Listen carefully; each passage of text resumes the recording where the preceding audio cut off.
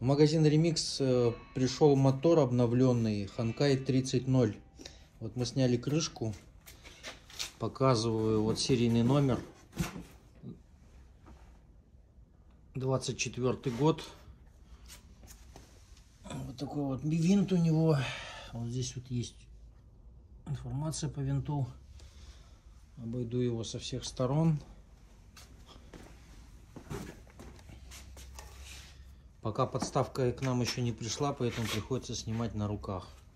Шилдика на нем нет. Э, это сделано специально для того, чтобы вам не нужно было его регистрировать в ГИМС. На нем везде написано, что он Ханкай 9.9. Отличительная надпись это Эндура, которая означает, что по факту это 30 лошадей. В описании видите ссылку на наше объявление и все параметры данного мотора. Всем хорошего дня.